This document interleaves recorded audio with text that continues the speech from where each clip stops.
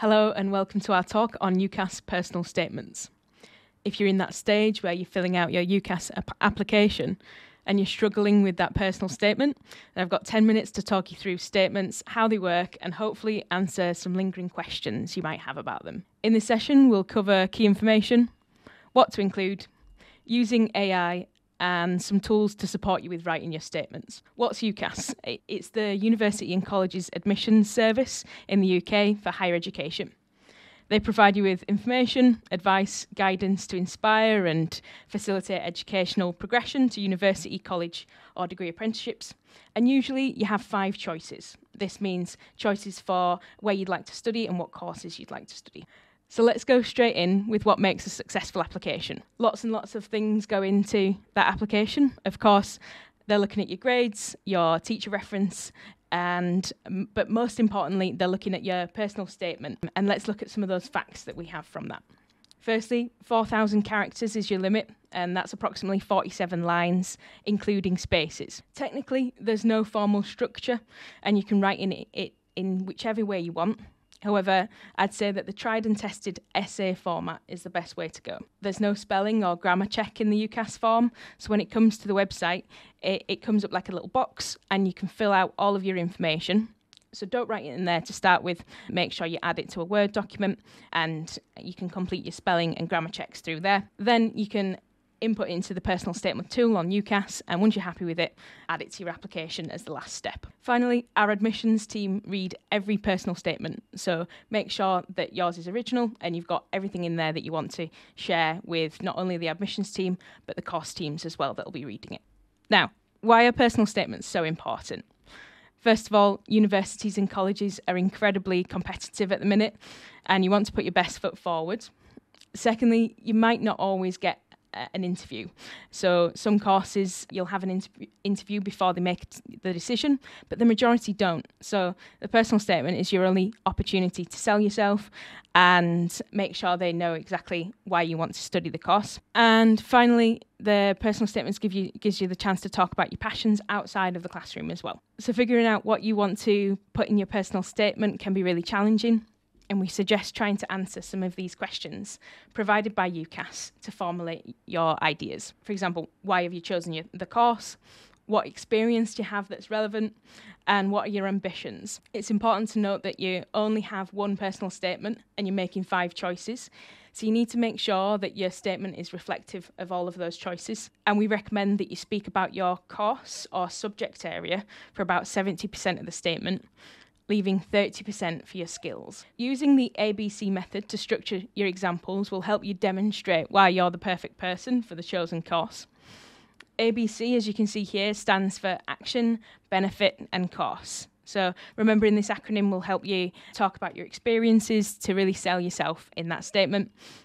So, after you've written your introduction, you'll then need to write the main body of your statement, which details your experiences and interest in the course. And this is when you can start using the ABC method to construct the paragraphs um, that will um, talk about your experiences from education, work experience, and extracurricular activities. So let me break it down a little bit more. Um, ABC, the action is what have you done? Benefit is what skills have you gained from that? And then courses, how has this prepared you for your chosen course? As you can see in this example here, the first action so shows that they're a, a member of the swimming team. And the benefits of this might be that they've developed skills in time management, data evaluation, for example, looking at competition times and communication.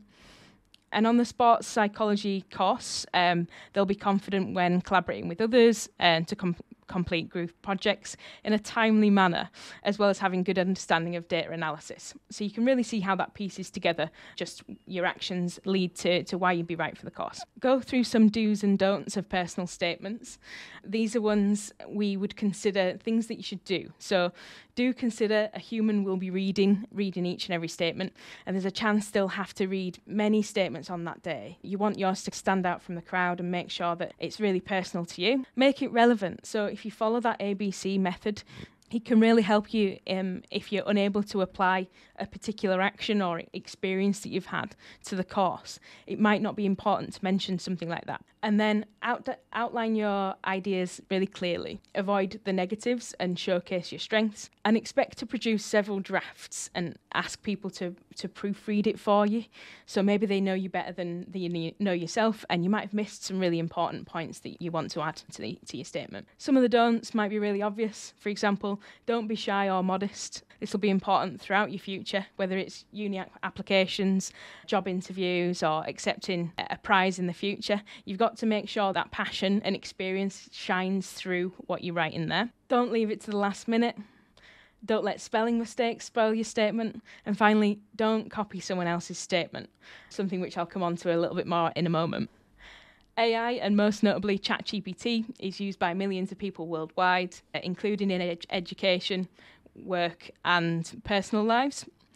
It's important to know the rules around AI in personal statements and what it can be used for. UCAS considered the use of ChatGPT to write your whole personal statement for you as cheating, and it may impact your application. They do have some tracking, tracking software, and it can determine your statement to be AI generated, and they'll notify institutions if they recognise this. However, there is a way that you can use it and use it to your advantage. We recommend to use it to brainstorm ideas, um, help you with structure, uh, and check the readability of your text. So remember to check everything after you've used it and, and, and don't copy and paste straight from ChatGPT or other AI tools directly into your UCAS personal statement builder or in a Word document. We say here that it's really useful for stats and facts as well, but it does lack that personal element. So that's why it's always referred to as the personal statement. I mentioned quite a few times throughout the throughout this presentation about the UCAS personal statement builder. You can access this on uh, your UCAS hub. So if you go straight on there, it's one of the tools that's, available for everyone, um, it, it, including other tips and tools that are available through the hub. If you speak with your school or college, or you can even get in touch with us, and we can help you guide you through those through those tools. You can always use uh, the UCAS uh, YouTube account as well. So there's lots of videos on advice, tips, do's and don'ts, and things like that. So definitely check that out. So to finish, here are our top tips. We say start as early as you can, um, write everything down, be enthusiastic, make drafts, make it personal, and read it out loud as many times as you can. That's everything. So thank you for listening. And don't forget, if you have any questions, you can contact us via email that's on the screen or on social media. Otherwise, best of luck with your applications.